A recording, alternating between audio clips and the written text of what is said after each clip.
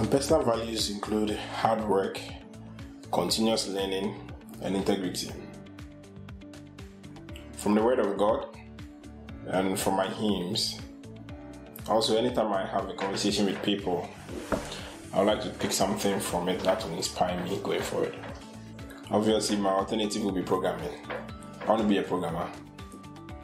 Nsano's head of finance. I think about how to optimize Nsano's finances and figure out how every money can work for the company. The first book I recommend is The Richest Man in Babylon. Every young person has to read this book. It shows you what to do immediately you start seeing money.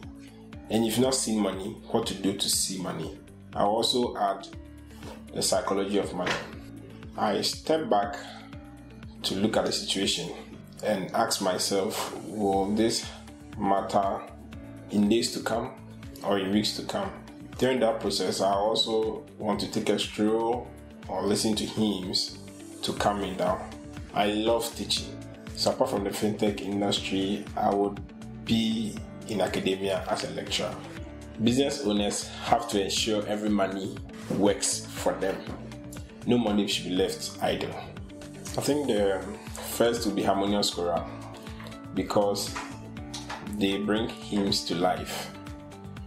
Then Kofi Kinata because I'm able to relate to a lot of the songs he sings and inspires a lot of people.